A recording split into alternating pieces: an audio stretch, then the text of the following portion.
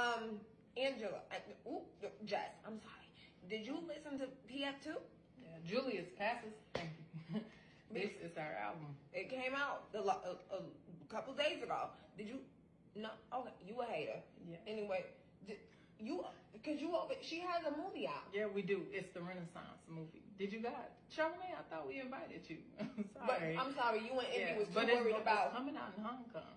Di- And you, y'all, okay, but see, you was worried about Keith Lee and the Hookful Grit and the. No, man.